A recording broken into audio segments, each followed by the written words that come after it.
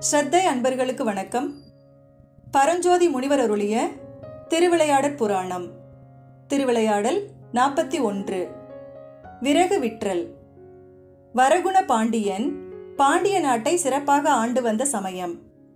வடநாட்டிலிருந்து ஏமநாதன் என்ற யாழ்ப்பாணன் மதுரைக்கு வந்தான். சபைக்கு வந்து பாண்டிய மன்னனை பலவாறு போற்றிய ஏமநாதன் தன்னிடமிருந்த யாழினை சுருதி கூட்டி இன்னிசை பாடினான். அதை கேட்டு மகிழ்ந்த பாண்டியன் ஏமநாதனுக்கு பல வெகுமதிகளை அளித்து அவன் தங்குவதற்கு பெரிய வீடொன்றையும் கொடுத்தான். ஏமநாதனும் மிகுந்த மகிழ்ச்சியுடன் அவ்வீட்டிற்கு சென்றான். பாண்டிய மன்னனிடம் பல வெகுமதிகளை பெற்றதால் ஏமநாதன் தனக்கு நிகர் யாரும் இல்லை என்று மிக்க கர்வம் அடைந்திருந்தான். அதை அறிந்த பாண்டிய மன்னன் பணியாட்களை அனுப்பி பானபத்திரனை சபைக்கு அழைத்து வருமாறு செய்தான். அவ்வாறு பாணபத்திரன் வந்ததும் பாண்டிய மன்னன் அவனை நோக்கி பாணபத்திரா இசையில் சிறந்தவனாகிய ஏமநாதனுடன் யாழ் வாசித்து அவனை வெல்வாயா? என்று கேட்டான். அதற்கு பாணபத்திரன் அரசே தங்கள் தயவாலும் எம்பெருமான் அருளாலும் ஏமநாதனை வென்று அவனுடைய கர்வத்தை அடக்குவேன் என்று கூறினான். நல்லது நீ நாளை வந்து அவனுடன் பாடுவாயாக என்று பாண்டிய மன்னன் பானபத்திரனுக்கு விடை கொடுத்து அனுப்பினான். தனது இல்லம் சென்ற பானபத்திரன் ஊரின் பல இடங்களில் ஏமநாதனின் மாணவர்கள் பாடுவதை கேட்டு வியப்புற்று ஏமநாதனின் மாணவர்களே இவ்வாறு பாடினால் ஏமநாதன் எவ்வாறு பாடுவானோ? நாளைக்கு நான் எப்படி பாட்டு பாடி அவனை வெல்வது? என்று வருத்தமடைந்து ஆலயம் சென்று எம்பெருமானிடம் முறையிட்டான்.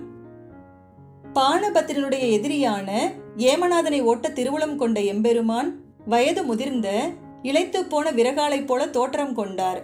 இடையில் கந்தை துணியும் வலது பக்கம் கொடுவாளும் பாதங்களில் தேய்ந்த செருப்பும் அணிந்திருந்தார். யாழை பழைய உரை ஒன்றில் போட்டு தொங்கவிட்டுக் கொண்டிருந்தார். தலையில் விறகு சுமை இருந்தது. இத்தகைய தோற்றத்துடன் மதுரை நகரின் தெருக்களில் விறகு விற்று கொண்டு சென்ற விறகாளி பெருமான் பல தெருக்களை கடந்து ஏமநாதனின் வீட்டருகே வந்து விறகு சுமையை ஒரு புறம் வைத்துவிட்டு ஏமநாதனுடைய வீட்டின் புறத்திணையில் அமர்ந்து இளைப்பாறினார். அச்சமயம் சிறிது நேரம் இனிமையான கானத்தை பாடினார். உள்ளே இருந்த ஏமநாதன் இன்னிசையை கேட்டு வெளியே வந்து விரகாளி பெருமானை பார்த்து நீ யார்? என்று கேட்டான். அதற்கு விரகாளி பெருமான். நான் பானபத்திரனுடைய அடிமை. பானபத்திரனுக்கு பல மாணவர்கள் உண்டு. வயது முதிர்ச்சியின் காரணமாக என்னை தகுதியற்றவனாக கருதி ஒதுக்கிவிட்டான் அதனால் நான் விறகு விற்று பிழைக்கிறேன் என்று கூறினார். அதை கேட்ட ஏமநாதன் அப்பனே நீ பாடிய அதே பாட்டை மீண்டும் ஒருமுறை பாடு என்றான். விறகாளி பெருமான் யாழை உரையிலிருந்து எடுத்து சுருதி கூட்டி விரல் பரிமாறி நாதம் எழுப்பினார். இனிமையான ராகங்களுள் ஒன்றான சாதாரி பண்ணை அசை வீதிப்போக்கு வண்ணம் திறம் ஆகியவற்றால் அனைவரும் விரும்பும் நல்லிசை எழுப்பினார். யாழின் கீதமும் குரலின் இசையும் ஒன்று கூடி இழைந்தன.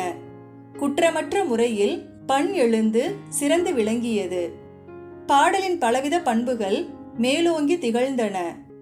ஏமநாதனின் உடல் நாடி நரம்பு உள்ளம் ஆவி ஆகியவற்றில் கலந்து கிளர்ச்சி செய்தது தேவப்பண். பெரும் வியப்படைந்த ஏமநாதன். பானபத்திரனால் தள்ளப்பட்ட கிழவனுடைய இசையே இவ்வாறு இருந்தால் பானபத்திரனுடைய இசை எவ்வாறு இருக்குமோ என்று எண்ணி அன்று இரவே தன்னுடைய மாணவர்கள் நிலை குலைந்து செல்ல எல்லாவற்றையும் போட்டுவிட்டு வடக்கு திசை நோக்கி விரைந்தோடினான். அன்று இரவு சோமசுந்தர பெருமான் பானபத்திரன் கனவில் தோன்றி பானபத்திரா நீ விரும்பியபடி நாம் இன்று விறகாலாக சென்று ஏமநாதனை பார்த்து யாம் பானபத்திரனுடைய அடிமை என்று சொல்லி சாதாரி பண் பாடி வென்று உன்னை காப்பாற்றினோம். என்று மொழிந்தார். மனதாலும் எண்ணுவதற்கு அரிய சொற்களை கேட்டு நடுக்கத்துடன் விழிப்பூற்றான் பானபத்திரன். பக்தியும் மகிழ்ச்சியும் நிறைந்த உள்ளத்துடன் சூரியன் உதயமாவதற்கு முன்பே ஆலயம் சென்று எம்பெருமானை வணங்கிய பானபத்திரன் எம்பெருமானே நான் அபச்சாரம் செய்துவிட்டேன். தேவர்கோன் அறியாத தேவதேவனை விறகாலாக செய்துவிட்டேன்.